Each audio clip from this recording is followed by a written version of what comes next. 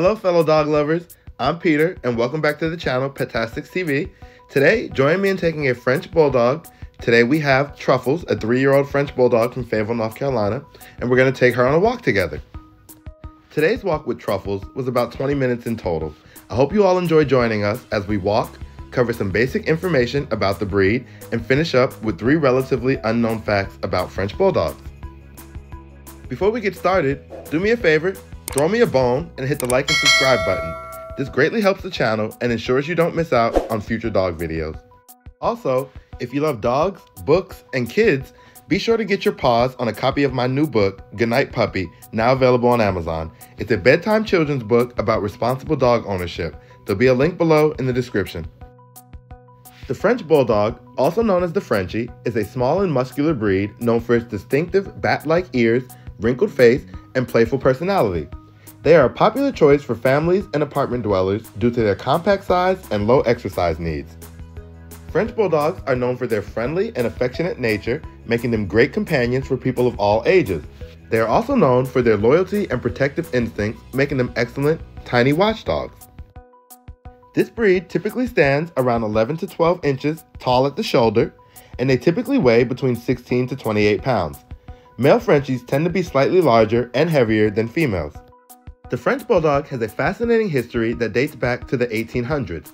They are believed to have originated in England as a smaller version of the English Bulldog, bred for companionship rather than fighting. Lace workers from Nottingham, England, brought these small bulldogs with them to France during the Industrial Revolution, where they became popular with the French. The breed's popularity continued to grow and it eventually made its way to the United States, where it's now one of the most beloved and popular dog breeds. Now, let me share with you three relatively unknown facts about the French Bulldog breed.